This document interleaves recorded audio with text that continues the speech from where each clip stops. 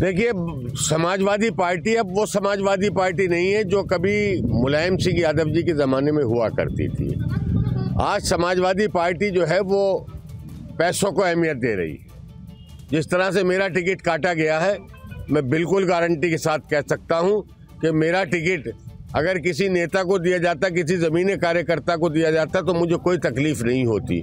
मेरा टिकट पैसों से दिया गया है इससे मुझे नाराज़ आप अखिलेश यादव पे एक बहुत बड़ा आरोप लगा रहे हैं कि समाजवादी पार्टी का उन्होंने टिकट आपका टिकट काट करके उन्होंने पैसों में दे दिया हो सकता है अखिलेश यादव जी को किसी ने गुमराह किया हो कुछ और दलाल हो बीच में।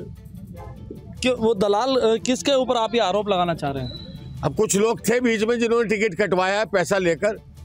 किस तरह देखते हैं जो अब जिनको टिकट दिया गया है? किस एक धन बल को एक धनवान को एक मीट के व्यापारी को टिकट दे दिया गया जो कभी ज़मीन की से जुड़ा नहीं जो कभी जनता के बीच नहीं रहा जिसने कभी जनता की कोई खिदमत नहीं की। मैं गुलामी की तरह राजनीति करता हूँ जैसे जनता के गुलाम होते हैं।